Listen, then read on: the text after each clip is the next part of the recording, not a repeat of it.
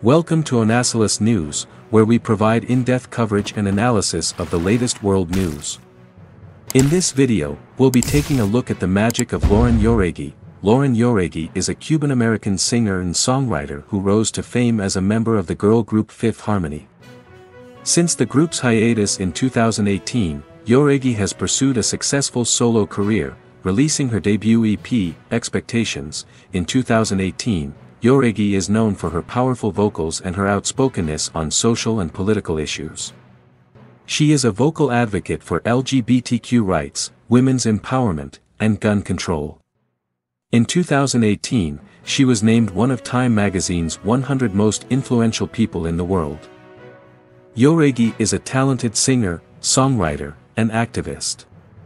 She is using her platform to make a difference in the world, and she is an inspiration to young people everywhere. Here are some of the things that make Lauren Jauregui so special. She is a powerful vocalist with a unique sound. She is an outspoken advocate for LGBTQ rights, women's empowerment, and gun control.